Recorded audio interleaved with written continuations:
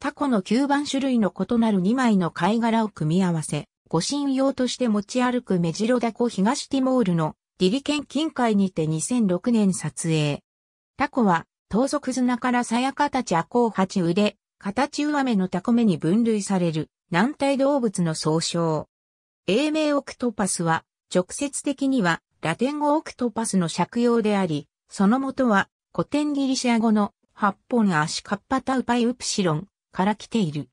日本語では標準和名の他にタコ、タコ、タコ、タコ、ショートも記す。主に岩礁や砂地に生息する。海洋性で淡水を嫌い、河口などの汽水域には生息しない。複数の吸盤がついた8本の腕を特徴とする。動物学的には足であり、一般には足と呼ばれるが、物を掴む機能などにより、特に頭足類における足は腕とも表現される。見た目で頭部に見える丸く大きな部位は実際には頭部であり、本当の頭は腕の基部に位置して、目や後期が集まっている部分である。すなわち、頭から足が生えているのであり、同じ構造を持つイカの仲間と共に頭足類の名で呼ばれる理由がここにある。イカの仲間との違いは腕の数のほか耳がないことであるが、これらには例外もある。このほか9番の構造もイカの仲間とは異なる。その柔軟な体のほとんどは筋肉であり、時には強い力を発揮する。体の中で硬い部分は眼球の間に存在する脳を包む軟骨とくちばしのみである。そのため非常に狭い空間を通り抜けることができ、水族館で飼育する場合は闘争対策が必要である。比較的高い知能を持っており、一説には最も賢い無脊椎動物であるとされている。形を認識することや問題を学習し解決することができる。例として、密閉されたネジ蓋式のガラス瓶に入った餌を視覚で認識し、瓶の蓋をねじって餌を取ることができる。また、白い物体に強い興味を示す。身を守るためには保護色に変色し、地形に合わせて体型を変える、その色や形を2年ほど記憶できることが知られている。また、1998年にはインドネシア近海に生息するメジロダコが人間が割って捨てたココナッツの殻を組み合わせて防御に使っていることが確認され、2009年12月、無脊椎動物の中で道具を使っていることが判明した初めての例として、イギリスの科学雑誌、カレントバイオロジーに掲載されたでは、特集が組まれ、2枚以外の貝殻や持ち運び可能な人工物を利用して身を守る様子が詳しく紹介された。動物の道具使用については別項、文化も参照のこと。血液中にはヘモシアニンという緑色の色素が含まれており、そのため血液は青く見える。ヘモシアニンは魚類の持つヘモグロビンに比べ酸素運搬能力に劣るため、長距離を高速で移動し続けることができない。さらに、海水の pH 濃度にも影響を受けやすく、海水が酸性化すると酸素運搬能力が低下する。エラは街頭膜内に格納されており、ロートのポンプで海水を取り入れてエラに当てることにより、酸素と二酸化炭素の交換をする。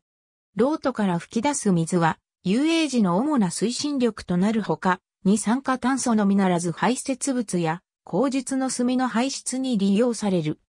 炭を墨汁脳に蓄えており、危険を感じると、活躍筋を使ってロートから黒い炭を吐き姿をくらます。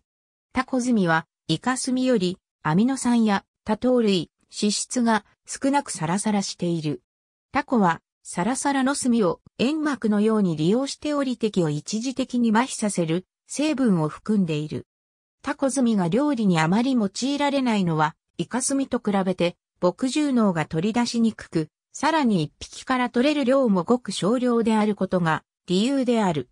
外敵に襲われた際、捕らえられた腕を切り離して逃げることができ、その後、腕は再生するが、切り口によって2本に分かれて生えることもあり、8本以上の腕を持つタコも存在する。極端なものでは、日本で96本足のあるタコが捕獲されたことがあり、三重県の島マリンランドに標本として展示してある。マダコでは自分の腕を食べる行動が観察されている。この行動は何らかの病原体によって引き起こされると考えられており、腕を食べ始めたタコは数日以内に死亡する。オスは4本の腕の吸盤の大きさがメスに比べてばらつきがある。タコの吸盤は大抵のものには吸着できる。切断された腕であっても、その活動は約1時間続く。しかし、タコの吸盤は切断されたものであっても、自分の体には吸着することはなく、この原理については判明していない。ただしタコの皮膚を取り除き、同じタコの腕を切断して近づけると、その腕の吸盤は皮膚を除去した部分に吸着する。また皮膚を貼り付けた物体に、切断されたタコの腕を近づけると、その部分にはくっつかず、皮膚のない場所にはくっつくという現象が確認できることから、皮膚に何らかの自己認識機構が存在するという説がある。吸盤には味覚を司る感覚器があるとされる。吸盤の表面は古くなると剥がれて更新される。古い吸盤表面を剥がすために激しく腕をくねらせて互いに擦り合わせることがある。タコの吸盤は主に筋肉の収縮を利用しており、葉のついた角質の管を利用することで張り付く。イカの吸盤とは構造が異なる。8本の触腕のうち1本は交接腕と呼ばれ、先端が生殖器になっている。これがメスの体内に挿入され精査やが受け渡されることで受精が成立する。大抵のタコのメスは生涯に1回のみ産卵し、卵が孵化した後にメスは死んでしまう。タコでは平行石を用いた年齢推定が行えないため、一部の種を除いてどれくらい生きるのかは分かっていない。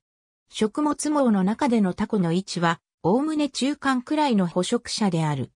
タコの天敵として最もよく知られているのはウツボで、あるが、サメやタイの仲間もタコを好む。しかしこの捕食非食関係も一方的なものではなく、稀にではあるが、大型のタコが小型のサメを捕食することがある。また水族館では、水ダコが同じ水槽で飼われていた油ツノザメを攻撃し、死亡させた例もある。他方、タコは甲殻類や二枚貝にとっての天敵であり、好んで捕食する傾向が強い。獲物に比して体格で勝るタコであれば、腕が持つ強靭な筋力によって甲殻類の殻を砕き、きつく閉じた二枚貝の殻をこじ開けることができる。人間もタコの天敵であるが、人間を見たことがない大型のタコは、潜水中の人を威嚇したり、ダイバーのレギュレーターに腕を絡ませ、結果としてダイバーの呼吸を阻害することもある。ほぼすべてのタコは毒を持っているが、人間には無害である。ただし、氷門ダコという種類のタコは、例外で分泌腺内に寄生するバクテリアに由来するテトロドトキシンという猛毒を持っており、人間でも噛まれると命を落とすことがある。解毒剤は見つかっていない。原生種は、ヒゲダコアモク、マダコアモクの2アモクに大別される。300種類を超えるタコが見つかっているが、約半数は分類が確定しておらず、DNA を用いた分子系統分類が待たれる。ヒゲダコアモク3ナグリンプ、1916センス、フェリーエトール、2001マダコアモクイン3ナグリンプ、1916、センスフェリーエトール、2001タコは手近で微微な、タンパク質の供給源として、世界各地の沿岸地方で食用されている。ユダヤ教では食の規定、歌手ルートによってタコは食べてはいけないとされる、鱗のない魚に該当する。イスラム教やキリスト教の一部の教派でも、類似の規定によってタコを食べることが禁忌に触れると考えられている。日本日本の築地市場に並べられたタコタコは日本の食生活に深く根付いている。2000年前後の時代には北アフリカのモロッコからの輸入が増加し、全体の6割を超えていたが、乱獲による生物量の減少を受けて、たびたび禁漁が行われ、他産地からの輸入が増加している。タコ類は多様な種が知られているが、日本では一般的にタコといえば、食用などで馴染み深いマダコを指す場合が多い。日本人とタコの関係は古く、池上、曽根遺跡などの大阪府下の弥生時代の遺跡からは、タコ壺型の土器が複数出土している。加熱調理されることが多く、多くの種は茹でると先行色を呈する。料理では刺身、寿司、煮だこ、酢だこ、酢味噌あえ、おでんの具材などに用いられる。たこ焼きやその原型とされる明石焼きの具材としても親しまれている。また、瀬戸内海周辺地域などではタコ飯に供される。なお、下処理として表面のぬめりを取るために塩もみされることも多い。低カロリーでタンパク質、特にタウリンが豊富である。また、亜鉛も多く含む。夏場のものが特に美味とされる。関西地方には半下にタコを食べる習慣があるが、これはタウリンを補給して夏バテを防ぐと言われる。秋口にメスの体内にある卵は象牙色の袋に包まれており、タコの袋地と呼ばれ、煮つけて食べる。また、産卵後の卵はその形状から海頭花と呼ばれ、塩漬けにする。なお、イカの吸盤が環状に並んだ微細で鋭利の葉を持つのに対して、タコの吸盤には、それがなく、大きく脂質きも良いため、それ自体の食感が喜ばれる。このほか、青森県の下北半島では、タコの内臓を茹でたものを道具の愛称で呼び、刺身や鍋の具などにして食べている。タコの繊維は切れやすく、茹でる前に大根で叩いたり、日本酒につけておくと茹でた後も柔らかいままとなる。また、茹でる際茶葉を一つまみ入れると、臭みが取れるとされている。日本以外の東アジア、東南アジア韓国、タイでは日常的な食材である。特に手長だこを生きたままぶつ切りにし、塩とごま油及びごまとあえて踊り食いにする三な口は有名である。台湾や中国で消費されるタコは、大部分が現地の日本料理店や韓国料理店の食材であり、中華料理の伝統食にタコ料理はない。なお、中国やベトナムは乱獲によって漁獲量を減らしたモロッコに代わって日本向けの漁獲量を増やしている。インド、中東チュニジアのタコのクスクスインドではタコを食べる文化はない。ユダヤ教ではタコなど軟体動物を食べることが禁じられているため、イスラエルではタコは食べない。イスラム圏ではモルディブ、チュニジア、トルコなどでタコが食べられている。ナクソス港の店先に吊るされたタコタコの足を使ったメゼとウーゾナノオ、地中海沿岸地域ではタコを伝統的な食品としている。ギリシア等の正教徒の多い地域の場合、東方正教会では、時の間は肉を、大時の際には魚をも食べるのを禁じてきたが、タコやイカ、貝類などは問題がないとされてきたため、これらを使った伝統料理が多い。東地中海では、メゼとしてグリルしたタコの足が出される。一方、アルプス以北のヨーロッパ諸国では、漁業が盛んな局所を除いて、伝統的には食用にはされてこなかった。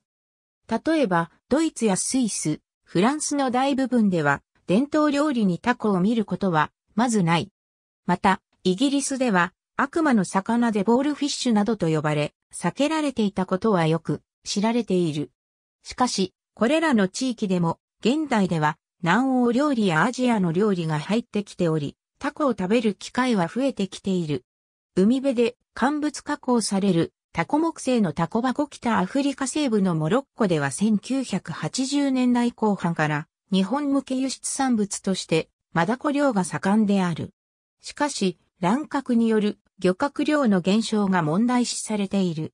また、モーリタニアでは1990年代半ばに日本企業の経済援助等によって港湾が整備され、以後、日本向け輸出用のマダコ漁が行われるようになった。日本のタコ壺漁の技法が導入されているものの、現地の一般消費者にはタコを食べる習慣がなく、タコについて問い合わせても通じないことが多い。現地の漁業関係者の間で、タコはプルプルと呼ばれている。モーリタニア産のタコはもっぱら、日本で消費されている。2009年時点で、日本にて消費されるタコの約7割がアフリカ産であり、そのうちの5割がモーリタニア産となっている。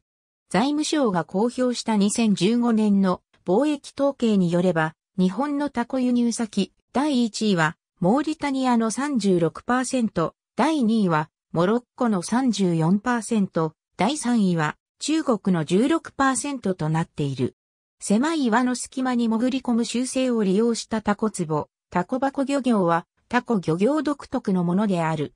日本には餌をつけない針金で引っ掛けるから釣り療法も存在する。空のタコ壺が浜辺に積まれている光景は一部の地域では漁村景観の一つともなっている。また、イイダコは白色を好む傾向が強く、ラッキョウ等の白色の物体に釣り針をつけ、それに抱きつくイイダコを釣る、変形のルアー釣りも有名である。第一種共同漁業権の対象魚種である。日本、オーストラリア、スペイン、メキシコ、イタリア、中国など世界中で養殖の研究が行われているが、商業用の養殖には成功していない。チダコの成長には生き餌が必要であり、養殖には場所も人でもかかる。メキシコではオクトパスマヤという種類のタコの養殖が試みられており、一定の成果が上がっている。日本では日本水産がマダコの完全養殖に成功している。しかし、いずれも商業ベースには到達していない。タコが描かれた前期ミノア文明の土器クレタ島、イラクリオンにて、紀元前1500年の地層より出土。ギリシャ、アテネ国立考古学博物館所蔵。日本ではその形態、生態が極めて特徴的で、ユーモラスでもあり、また、茹でると真っ赤になるなどといった性質から、漫画、映画、テレビ番組などでキャラクター化されることが多い、茹でた後の赤色で表現されることがほとんど。しばしば胴体を頭部になぞらえ、目や突き出た口を持ち、足は極端に短く、額に当たる部分に鉢巻きを巻いた姿で描かれる。単純に馬鹿にする言葉としても、タコという故障が使われ、転じて、馬鹿や初心者、ハゲを指して、タコという表現はあちこちで見られる。同じ墨を吐く動物として、イカと対比されることが多い。戦術の通り、地中海沿岸諸国では古来、タコは食用であり、身近な存在であった。しかし、ヨーロッパ中北部では悪魔の魚とも呼ばれ、忌み嫌われてきた。タコは潜水符を丸飲みにするとも言われる。イラストに描かれる際も、足を強調してグロテスクに描かれ、紫色に塗られることが多い。なめ川の大凧、明石淡路フェリーの朝潮丸明石港、2008年5月撮影。ありがとうございます。